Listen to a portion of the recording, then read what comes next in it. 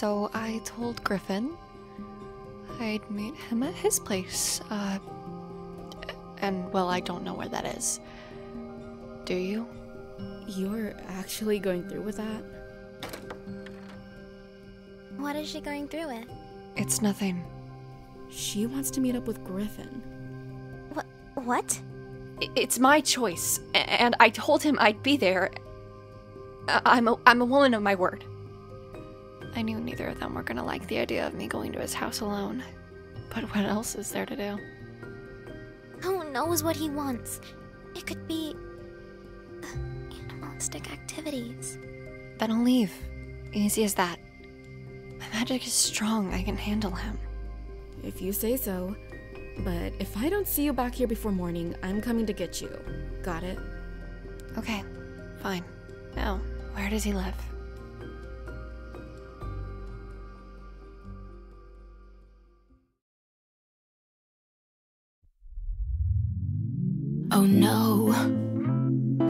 Anxiety creeps up on me. Is this how it's supposed to feel? Tell me when it's over. I got someplace that I gotta be. It won't leave. My friends say, get out of your comfort zone. It's a blessing in disguise. Get out of what you call home. Your name is written in the sky. It might feel just it's another lie. Remember, you. Oh no. The doctor says take some pills.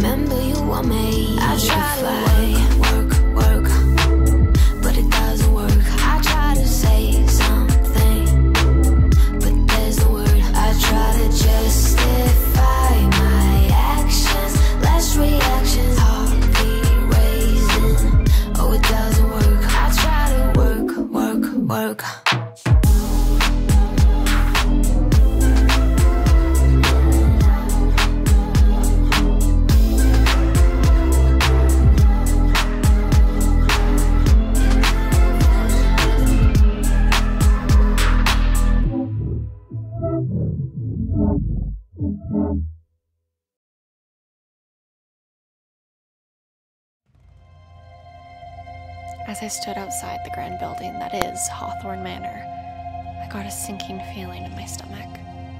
The type of feeling you'd get on the top of a roller coaster about to drop, unsure of what's ahead, but knowing I'll most likely survive.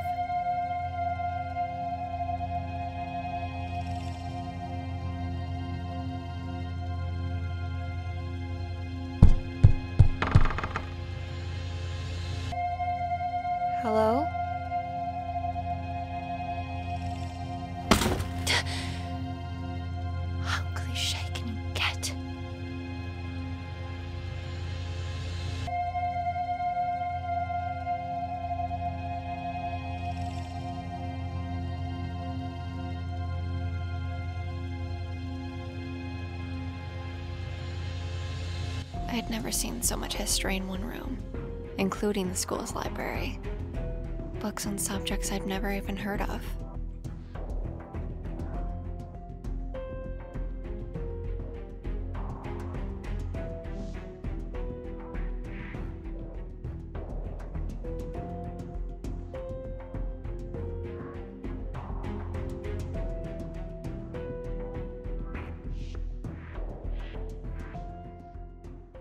Find something you like?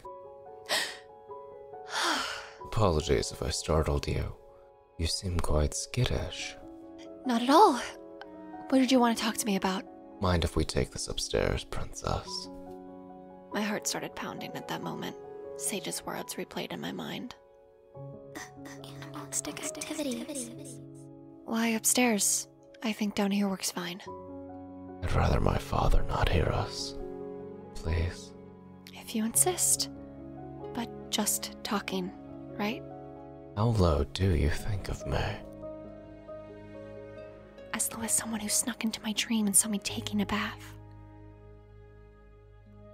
I promise. And I don't break my promises. Fine then. Lead the way, Griffin.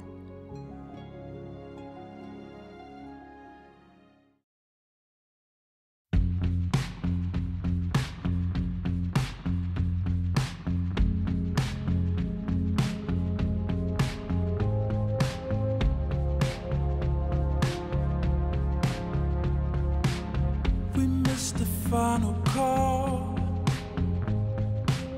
The writing's on the wall. We fell and now we walk in the ruins of our love.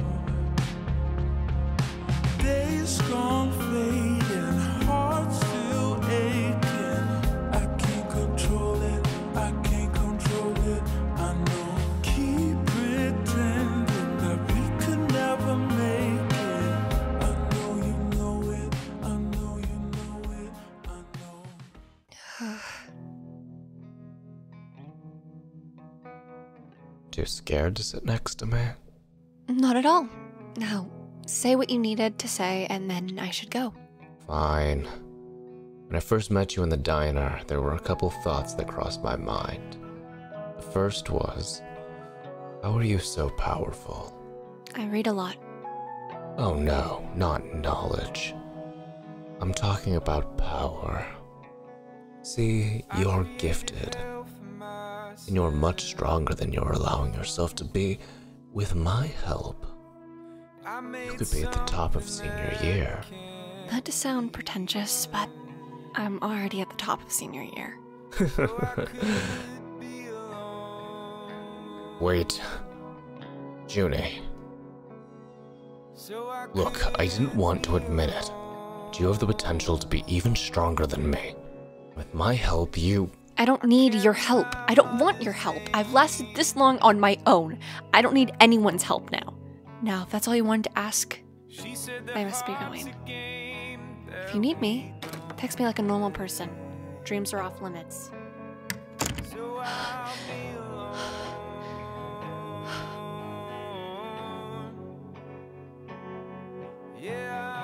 Ah, that girl.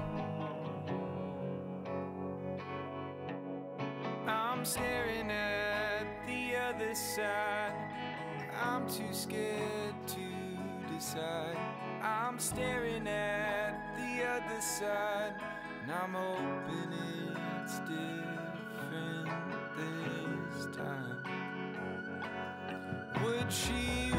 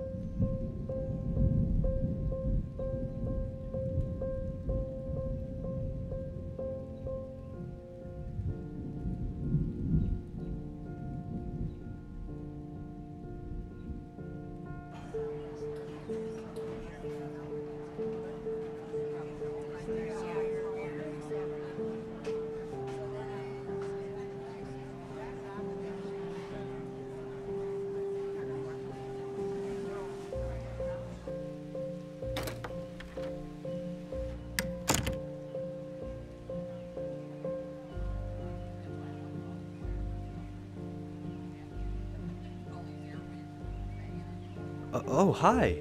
It's you again. Um, thanks for protecting my ass the other day. Oh. Hi. Uh, yeah, no worries. oh, uh, by the way, you're very beautiful.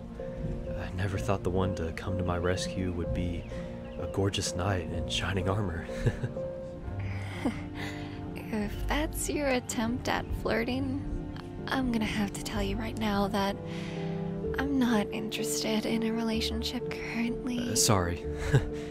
I'm Xavier, by the way. How about I buy you another coffee? as a thank you for helping me the other day. I'll never turn down a coffee. I, I'm Juni. Nice to meet you.